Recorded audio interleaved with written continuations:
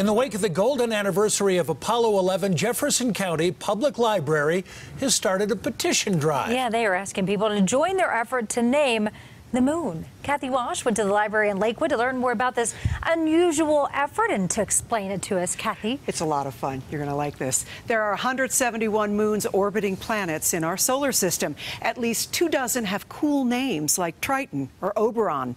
Earth's moon is called the moon. At Jefferson County Public Library, they think we can do better. They're lost in space this summer at Jefferson County Public Library with aliens, Captain Underpants, and books that are a blast. It's a celebration of the 50th anniversary of the Apollo 11 moon landing. But the library has a mission of its own. We want to name the moon. So self proclaimed nerd Rich Furlong started a petition. All the other planets' moons have super cool names like Phobos and Titan. And all we get is the moon? That's just lazy, people. The digital marketing specialist first proposed Jeff for Jefferson County.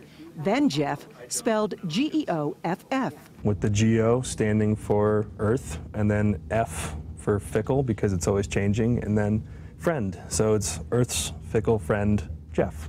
It's taken off on social media, kind of. 71 supporters. There we go. You can imagine who likes the idea. Jeffries mostly. Jeff. A lot of Jeffs. This Jeff says, duh. Those opposed, One lady was upset that it was named Jeff because her ex-boyfriend was named Jeff. some call it dumb. We'll have to change all the songs. Bad Jeff Rising, Fly Me to the Jeff. Jeff supporters plan to send their mm-hmm. petition to the International oh, Astronomical Luna, Union. Even if the idea is eclipsed, they'll take pride in having started the celestial conversation. I think this silly, out of this world effort is really clever. It's fun and it's made people curious. And if it gets them to read, well, the library has accomplished its real mission.